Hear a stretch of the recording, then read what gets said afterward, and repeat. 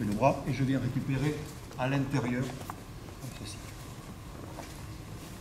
Et je marque ma position. Alors, euh, je suis désolé, mais je n'oublie pas complètement, mais je devrais être un petit peu plus bas. On est un peu pareil, je crois, tous les deux.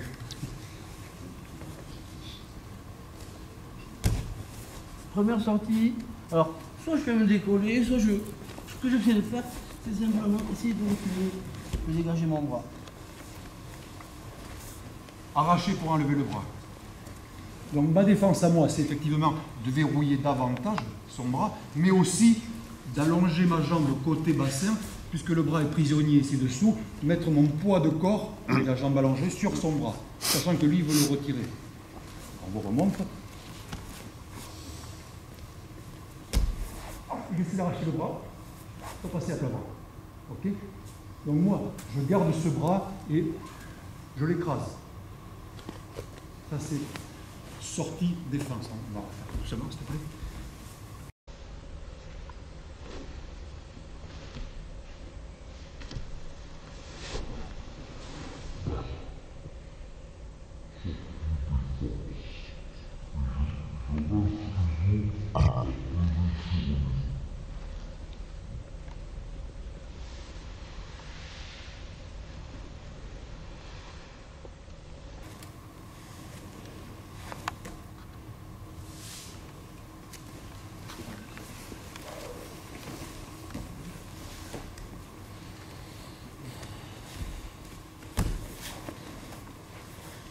Deuxième sortie.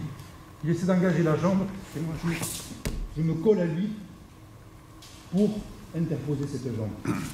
Première sortie, il s'éloigne, il arrache le bras. Deuxième sortie, il se rapproche en, en interposant le genou sur mon épaule et en essayant d'engager son bras. D'accord? Première sortie, il s'éloigne. Il s'éloigne en repoussant.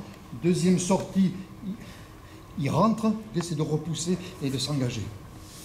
D'accord Et, et là-dessus, moi, je vais faire mon effort sur un balancier pour le ramener, ce qui va donner la direction de la troisième sortie là-bas. Toujours changer les directions. Changer les directions.